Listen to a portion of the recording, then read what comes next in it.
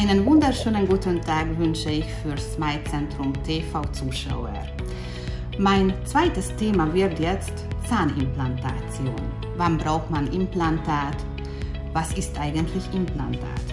Implantat ist eine künstliche Wurzel und äh, wann man das verwenden soll, wenn jemand zum Beispiel Zahnverlust hat, hat einen Zahn verloren oder wenn zum Beispiel jemand zahnlos ist oder kombiniert mit äh, eigenen Zähnen als äh, sogenannte Brücke mit Implantat zusammen kombinieren.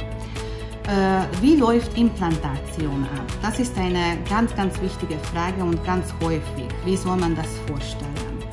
Erst einmal natürlich beginnen wir das Implantat einzupflanzen. Wenn wir das Implantat eingepflanzt haben, dann müssen wir natürlich acht Wochen warten. Acht Wochen später machen wir eine sogenannte achtwöchige Kontrolle und wenn es geht, das wird natürlich immer der Kieferchirurg entscheiden, dann machen wir auch die Freilegung von dem Implantat.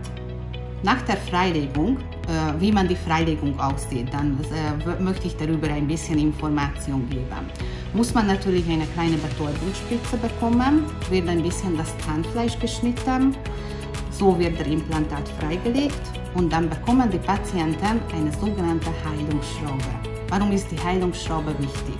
Natürlich deswegen, weil so wird natürlich das Zahnfleisch schön, verheil, schön verheilen und danach, äh, wenn wir die, diese Heilungsschraube schon in unserem Mund haben, dann müssen wir zwei oder vier Wochen warten und danach machen wir die Abdrucknahme.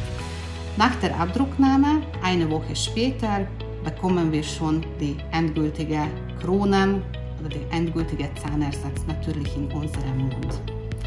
So, ich hoffe, dass ich eine kleine Hilfe gegeben habe bei dem Thema Implantation. Was ich natürlich noch sagen möchte zum Implantat. Implantat ist aus Titan, was deswegen sehr gut ist, weil antiallergenisches Material.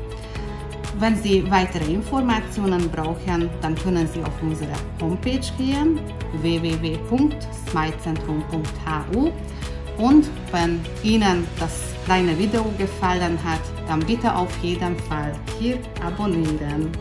Schönen Tag!